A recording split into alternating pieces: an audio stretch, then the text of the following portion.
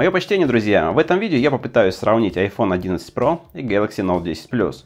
Это очень хорошее сравнение, так как эти аппараты имеют одинаковую стоимость базовой версии – 89 990 рублей. Думаю, что многим будет интересно, что Apple предлагает за эти деньги, а что Samsung. Но прежде, друзья, я хочу поделиться с вами очень полезной информацией, как сэкономить на покупке смартфонов и других товаров. Дело в том, что не так много времени осталось до распродажи 11 ноября на AliExpress. Напомню, что 11 ноября можно будет купить товары со скидками. Но если при покупке пользоваться кэшбэк-сервисом, то можно сэкономить еще больше. Я уже давно экономлю на покупках, используя сервис умных покупок Smarty Sale. Сервисом уже воспользовались более миллиона довольных покупателей, в том числе множество моих друзей и родственников. Ведь благодаря Smarty Sale вы можете получать высокие проценты по кэшбэку в большинстве популярных интернет-магазинов. Минимальная сумма для снятия практически отсутствует, а мгновенная выплата может осуществляться любым удобным способом, от пополнения мобильного до вывода на карту банка. Как говорится в известной поговорке, готовь сани летом. Поэтому предлагаю подготовиться к распродажам 11 ноября и сэкономить по максимуму, пройдя простую регистрацию. Уверен, что вы будете довольны. Ссылка для регистрации в Smart Sale находится в описании под этим видео.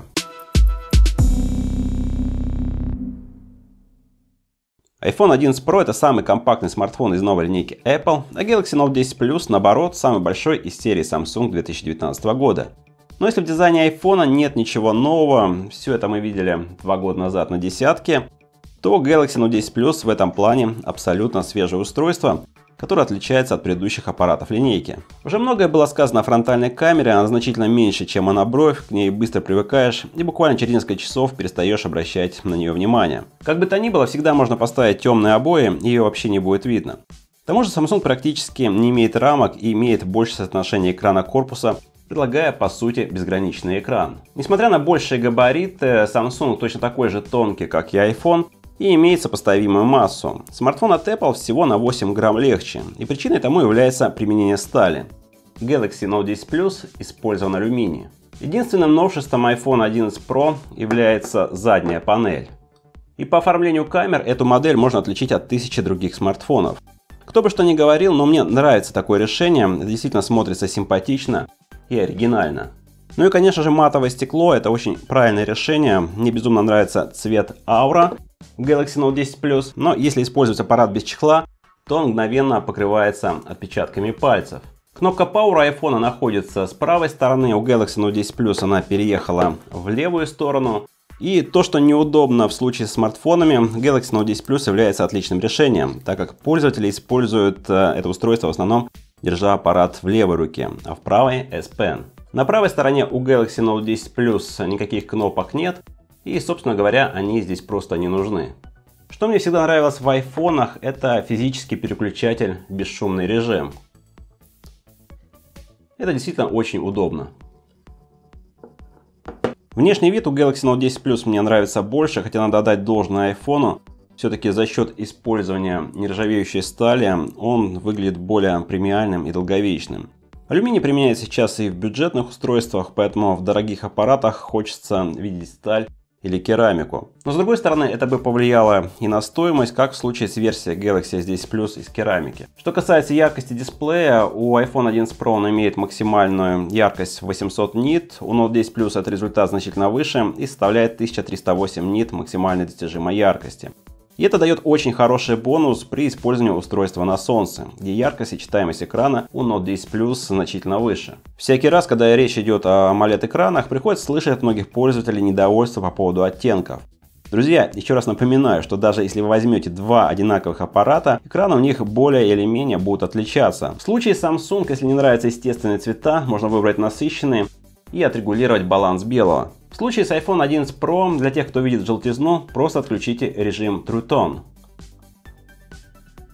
И в iPhone 11 Pro, и в Galaxy Note 10 Plus можно включить ночной режим.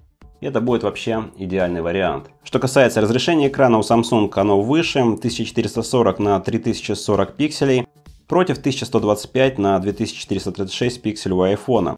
Но тем не менее Samsung дает возможность менять разрешение экрана в настройках. И Full HD Plus для повседневного использования более чем достаточно. То есть оба аппарата имеют очень четкие экраны. Экран у iPhone 11 Pro не имеет таких изгибов, как в случае Note 10 Plus. Я знаю, что для многих это будет плюсом с точки зрения практичности. На такой экран без всяких проблем можно наклеить защитное стекло, а также при использовании устройства без чехла можно забыть о каких-либо ложных нажатиях. Но с другой стороны, в случае с Note 10 Plus защитная пленка наклеена уже из коробки, а сами изгибы минимальные. Это совсем не то, что было, например, в Galaxy S7 Edge. Касаемо разблокировки с помощью биометрических данных. На iPhone 11 Pro имеется Face ID, которая, к чести Apple, работает безукоризненно даже в темноте. И, конечно же, это более безопасный метод, чем разблокировка по лицу у Samsung. Но в Galaxy Note 10 Plus есть также встроенный в экран ультразвуковой сканер отпечатка пальцев. Как в случае с Apple, разблокировка происходит мгновенно. Говоря о программном обеспечении, iPhone 11 Pro работает на системе iOS 13.1.2, а Galaxy Note 10 Plus базируется на системе Android 9 версии с фирменной оболочкой One UI. Да, конечно, сейчас имеется 10 Android, но тем не менее в Galaxy Note 10 Plus почти все фишки, которые есть в десятке, присутствуют. Судя по опыту предыдущих моделей, Apple дольше выпускает обновления для своих моделей, чем Samsung. Тот же самый iPhone SE, вышедший в 2016 году, до сих пор получает новые версии системы.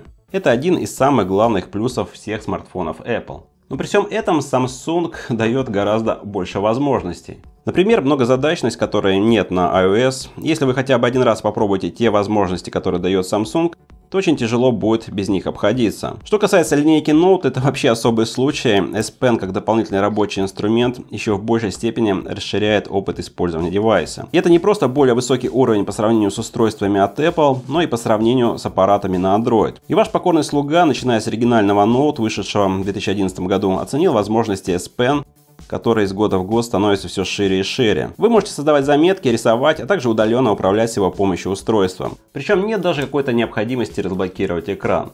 Просто достаете S Pen и пишите, что необходимо. Конечно, iOS развивается и улучшается со временем. Это вылезанная система для пользователей, которые не хотят разбираться в настройках и считают, что Apple для них все сама сделает. И многие пользователи за это и любят айфоны. Но меня все эти ограничения после нескольких дней использования стали бесить. К тому же я не отношусь к пользователям, которые 5 лет пользуются одним смартфоном, поэтому для меня проще чаще менять, но при этом иметь больше возможностей. Одной из таких возможностей, которой точно нет на iPhone, является режим DeX. Просто подключив Galaxy Note 10 Plus к компьютеру, он превращается из смартфона в что-то типа системного блока. А если активировать переход в ландшафтный режим, то Galaxy Note 10 Plus превращается в мини-планшет. Конечно же, такого на айфоне просто нет и быть не может. То есть сценариев применения Galaxy Note 10 Plus очень большое количество. И это не просто смартфон, как в случае с iPhone 11 Pro. Несмотря на то, что в синтетических тестах iPhone 11 Pro набирает значительно больше баллов, при работе с повседневными приложениями разница абсолютно не чувствуется. Оба аппарата работают быстро, без каких-либо зависаний и лагов. Так что вы не сможете полностью оценить все преимущества Bionic A13, так как Exynos 9025 также справится с любыми задачами. Для меня до сих пор является вопросом, почему в новых айфонах базовый объем встроенной памяти составляет 64 гигабайта. Да простит меня Тим Кук, но это выглядит как настоящее жлобство по отношению к пользователям, которые выкладывают достаточно большие деньги за эту модель. Для большинства россиян стоимость iPhone 11 Pro это зарплата за несколько месяцев работы. Я думаю, что было бы нормально в базовой версии использовать хотя бы 128 гигабайт памяти. Note 10 Plus встроенная памяти целых 256 гигабайт. Плюс память можно расширить с помощью карты памяти, если вы не используете вторую сим-карту. И, кстати говоря, второй физической сим-карты нет в iPhone, а eSIM в нашей стране только зарождается. Поэтому тут компании Apple есть над чем поработать. Одним словом, за одни и те же деньги, покупая Galaxy Note 10 Plus, пользователи получают гораздо больше памяти и возможность установки второй сим-карты. iPhone 11 Pro может похвастаться тремя 12-мегапиксельными камерами, одна из которых основная, вторая телефото и третья широкоугольная. У Samsung ситуация похожа, отличие заключается в том, что широкоугольная камера здесь на 16 мегапикселей, также добавлена четвертая время пролетная камера для создания 3D изображения. Камера iPhone предлагает несколько режимов съемки, панорама, портрет, замедленная съемка, видео, фото. А, конечно же, у iPhone имеется ночной режим, но он не вынесен отдельным профилем. И включается только автоматически при слабом освещении. Например, сейчас освещение хорошее, поэтому камера даже не предлагает использовать ночной режим. С одной стороны это плюс, дескать, зачем нам ночной режим, если освещение хорошее. Но как показывает опыт с Google Pixel 3, ночной режим помогает вытягивать фото и в дневное время суток. И здесь владельцев iPhone в очередной раз ждут ограничения. Но на этом сюрпризы не заканчиваются. Почему-то Apple решила, что ночной режим на фронталке не нужен. Но позвольте, многие пользователи покупают эту модель исключительно из-за возможностей камеры. А тут такое упущение. Теперь берем в руки Samsung, запускаем камеру. Также здесь видим множество режимов, включая ночной режим, который выделен отдельным профилем. Теперь запускаем фронталку и также видим режим ночь. В целом Note 10 Plus и iPhone 11 Pro выдают отличные снимки. Да, они разные, и тут многое зависит от личных предпочтений. Посмотрите примеры фото, друзья, и оставьте комментарии, снимки какого устройства вам больше нравятся.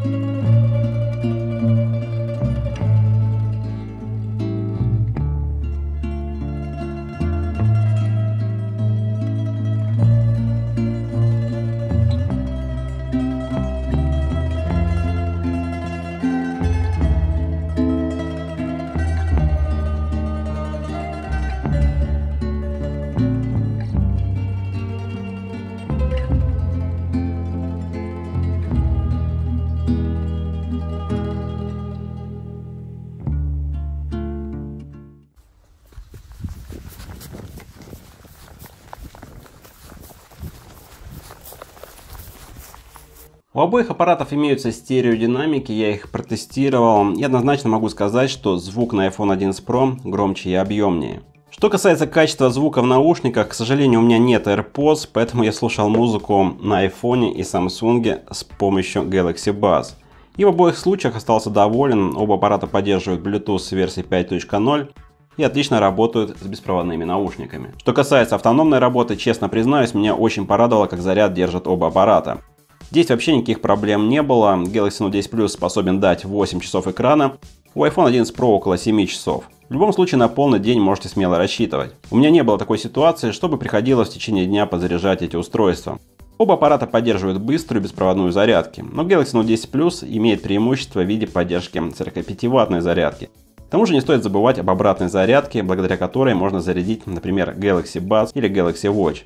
Ни один iPhone этим похвастаться не может. Итак, друзья, я думаю, что из всего вышесказанного вы смогли сделать вывод, почему я возвращаюсь на Samsung Galaxy Note 10 Plus. За ту же стоимость, что и у iPhone 11 Pro, я получаю множество плюсов, таких как больше экран, S Pen, новый дизайн, больше памяти плюс поддержка двух SIM и карты памяти, Настоящая многозадачность, значительно больше настроек в камере, лучшая автономность, э, режим DeX и многое-многое другое. А вот какие преимущества есть у iPhone 11 Pro? Честно говоря, сложно сказать, в голову приходит только более быстрый процессор. Но опять же, как я уже отметил, что нет таких задач, которые процессор в Note 10 Plus не смог бы осилить. Поэтому прощай iPhone 11 Pro и снова здравствуй Galaxy Note 10 Plus. Друзья, надеюсь, что это видео вам понравилось. Подписывайтесь на канал, если не сделали этого ранее. Также оставляйте комментарии, что думаете о моем решении, правильно оно или нет. И главное, не забывайте, все самое интересное еще впереди. Всего доброго, до новых встреч!